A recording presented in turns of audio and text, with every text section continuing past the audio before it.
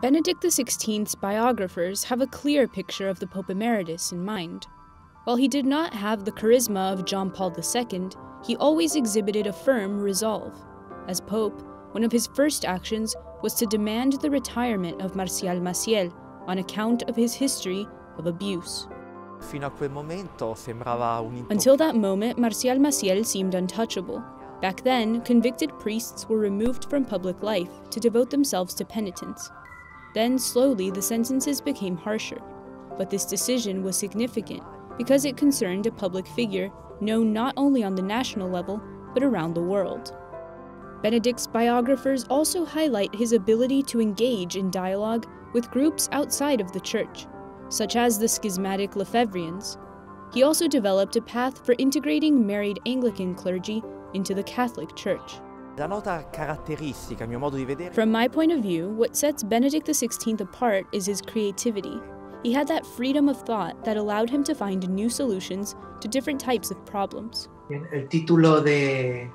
The title of Pontifex, or Pontiff, actually translates to bridge builder.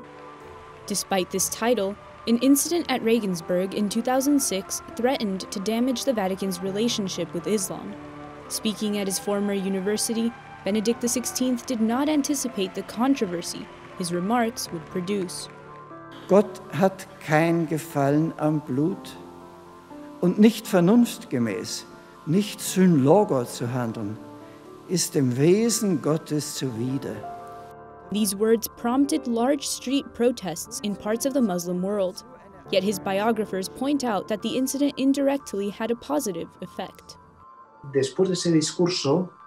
After that speech, many Muslim leaders joined those expressing support for Benedict.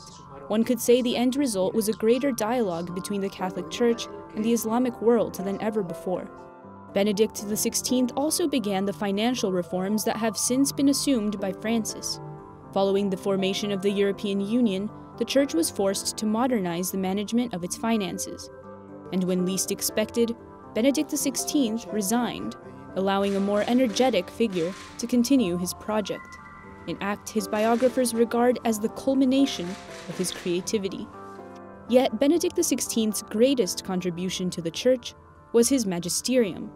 According to scholars, his catecheses, encyclicals on central aspects of the faith, and biographies on Jesus of Nazareth could qualify him to one day be declared a doctor of the Church.